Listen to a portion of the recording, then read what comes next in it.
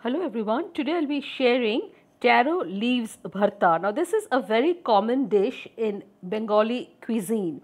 This is extremely tasty and very healthy as well. This is rich in fiber and other important nutrients. Now these are taro leaves. Now they look exactly like lotus leaves as you can see. These are very huge in size. I have already washed them. There are quite a few of them as you can see and I have to wash them properly as any other leaf because leaf leaves contain a lot of dust and soil. So this needs to be uh, washed properly and then I have kept them in the strainer and then I need to chop and cut them.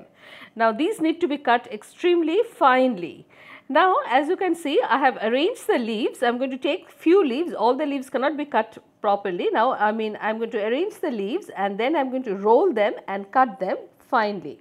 So this is the way it needs to be cut and it will take a little time because there are quite a few leaves which need to be chopped.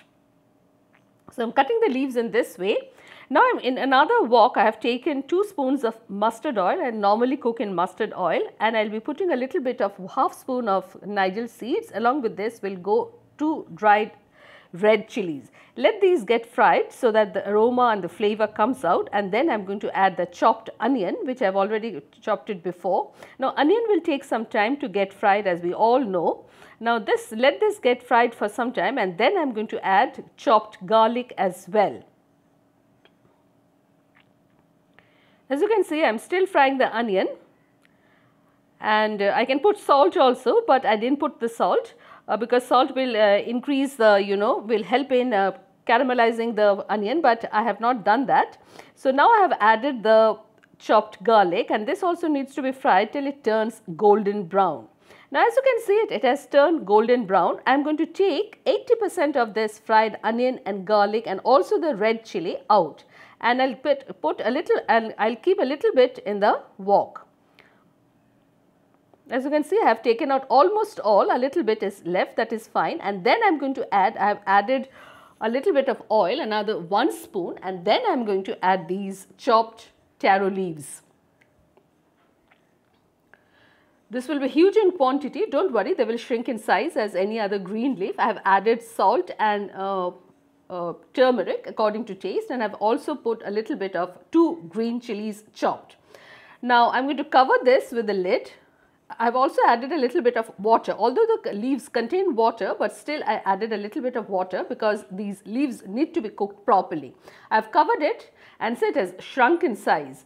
Now it will release a lot of water also because I have to constantly uh, you know stir it and cover it and cook it. It will release a lot of water and then this taro leaves will get cooked in this water itself.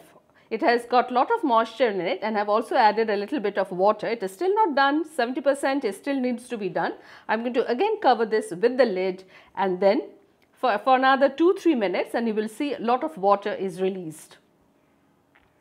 See a lot of water has been released. Now this water needs to be soaked. I am not going to throw this water because this has got lot of nutrients in it and this water and the taro leaves will get cooked together. It will become absolutely mushy in nature. This is extremely tasty and it can be had with steamed rice. See this is the way all the water got absorbed and see taro leaves have become extremely soft and they get they got mushy. Now this is the way the bharta needs to be done. I have also added the fried onion, garlic and uh, red chili. Red chili or of course I have crushed it with the hand and then I have added it. Nothing needs to be given. At last I am going to put a little bit of half lemon juice. Otherwise uh, these taro leaves they cause itching. So to put this uh, lemon juice because this is a must and then I have to constantly stir it like this till it gets absolutely dry. So this is a final look. So if you like the recipe, do like, share, comment and subscribe. Thank you.